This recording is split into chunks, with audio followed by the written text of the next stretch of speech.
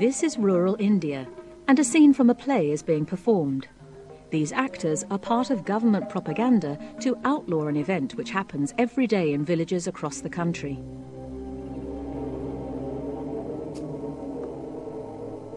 Baby girls suffer a fate once thought consigned to the past. They're killed because their parents only wanted a son.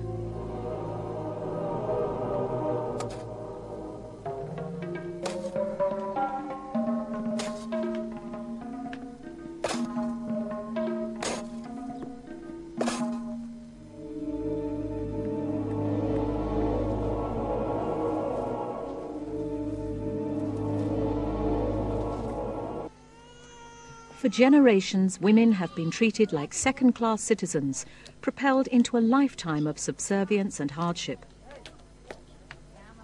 At a young age, girls like Pasupathy have to work in dingy conditions. Child labour is still legal in India.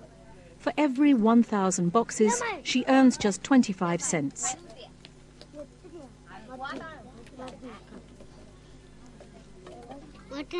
I don't miss school very much. Everyone here has to work. We need the money. After work, Pasupathy helps her mother in the fields. Like most girls, she has little chance of an education.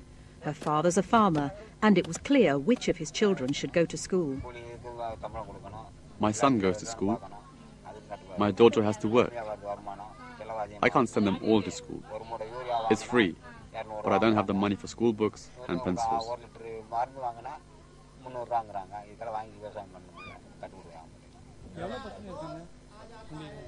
Most of the country's 115 million working children are girls. Widespread poverty means families need to send their children to work. The state has tried to reverse this trend, but without funds they have little chance of success, although some schools are up and running.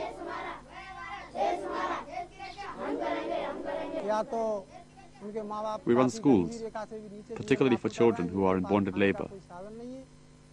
They should have a chance. For every child that comes to school, we give them a kilo of grain a day, worth five rupees.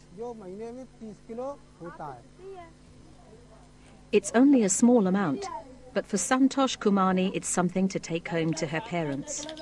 She's one of the lucky girls who go to school, but three hours before it starts, she helps her mother and sisters clean bulb fittings.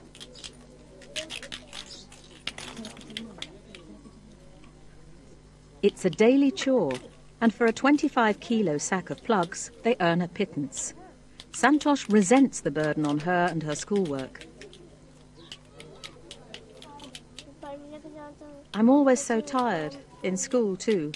I'm always working, and I don't have time for anything else, even homework. I've got no free time to play.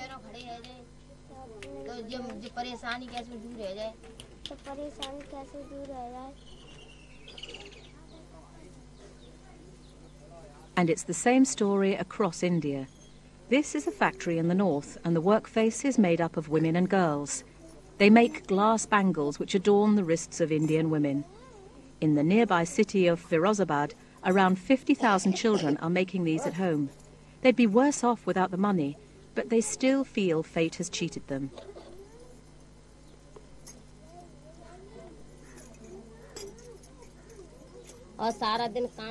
Work never stops for us. We cook, clean the house, wash and make bangles.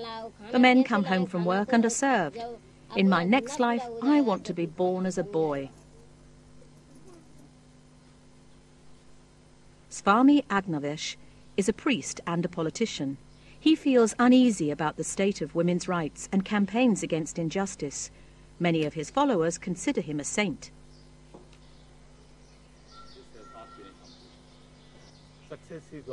Successive governments have acted very carelessly. They've abused their constitutional mandate and responsibilities. As a result, we have 135 million children that don't go to school. 65 million child bonded laborers.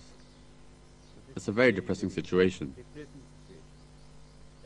As long as these children don't get a good quality relevant full-time education, at least until they're 14 years old, with skills training, there's no hope of any breakthrough. in the vicious cycle of poverty, unemployment, child labor, and population growth. Unemployment, child labor, population growth, etc. The last Indian census in 1991 recorded a population of over 900 million people. Sometime around the millennium, the population will exceed 1 billion. Many will survive by begging, scavenging through rubbish for food or wood to burn. Most girls will pass on the cycle of illiteracy for future generations. At the beginning of the next century, every second illiterate person in the world will be Indian, yet the government will spend millions on developing nuclear arms.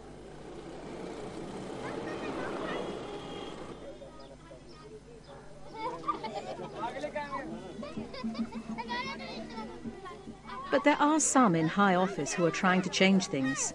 As a Brahmin, Kamal Kishore belongs to the highest caste in India. The caste system divides Indian society into rich and poor, with no chance of escape. Kamal rejects the caste system as exploitation and subservience. The Brahmins only care about themselves. One is born into a caste and can't do anything about it. In Hindu mythology, poverty and exploitation result from actions in an earlier life. The Brahmins call it the will of God. The UN's children's agency, UNICEF, has been active in India for 50 years. Its director, Carol Bellamy, is touring villages to check on local projects funded by the organisation. She also recognises there are major issues in India concerning women's rights but strongly identifies education as the key to change.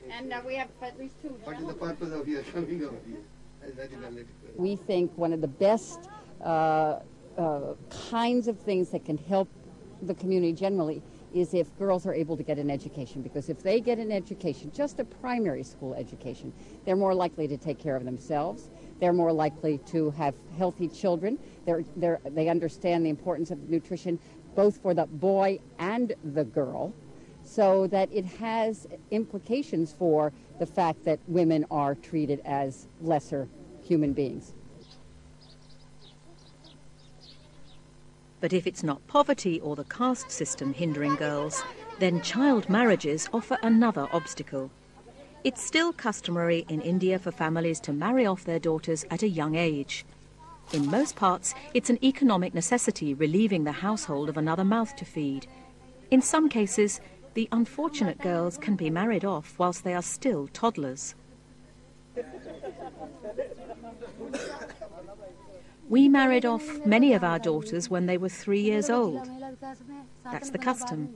I didn't know it was forbidden. Now my daughter is staying with us until she's older.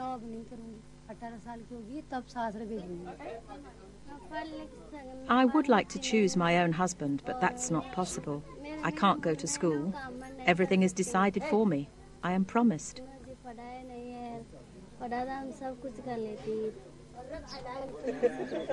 Even though a father will have to supply a dowry or a sum of money with his daughter's marriage, it means in the long term his family is less likely to suffer financial hardship. I had three daughters, and my brother had two. It was a bargain if we could marry them all together. It cost us less. Then people said we had to keep our daughters and send them to school.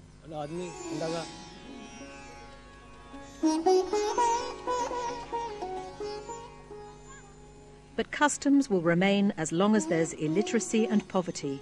Almost half of India's population lives below the poverty line, and the ranks of the poor are swelling at a rate of 10 million a year. Girls can expect to inherit jobs with a low income and no job security. Often they'll work the longest hours in the worst conditions, while the opportunities for self-employment are almost non-existent.